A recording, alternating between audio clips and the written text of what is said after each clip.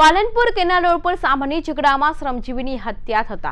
બેની દારૂ પીવાની ટીપવાળા મૃતક અને તેના મિત્ર સાથે બે શ્રમિકે ઝઘડો કરી લાકડાના ફટકા ત્રીસના હથિયારના ઘા કર્યા હતા.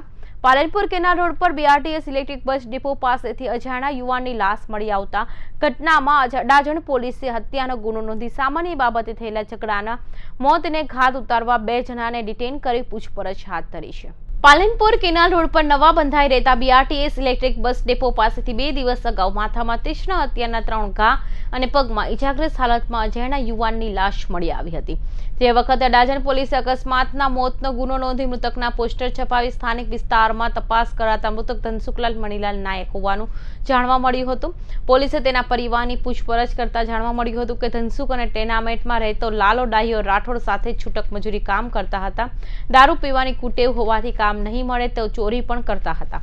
બે દિવસ અગાઉ ધનસુખ અને લાલો પાલનપુર કેનાલ રોડ પર બની રહેલા બીઆરટીએસના ઇલેક્ટ્રિક બસ ડેપો પાસે ગયા હતા, જ્યાં બે અજયના અને સામાન્ય બાબતે ઝઘડો થતા કામના લાકડાના ફટકા અને તીક્ષ્ણ હથિયાર વડે ધનસુખ અને લાલા ઉપર હુમલો કર્યો હતો. તેમાં ધનસુખને ગંભીર ઈજા થતાં મોત થયું હતું, જ્યારે લાલાને પણ સામાન્ય ઈજા થઈ હતી. પોલીસે હત્યાનો ગુનો નોંધી બે હત્યારાની રિટેન કરી પૂછપરછ હાથ ધરી છે.